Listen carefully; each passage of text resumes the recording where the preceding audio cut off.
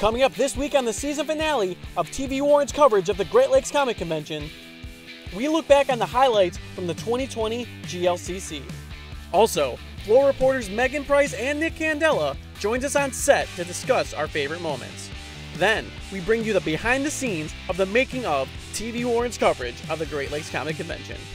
All that and more coming up this Friday, May 8th at noon.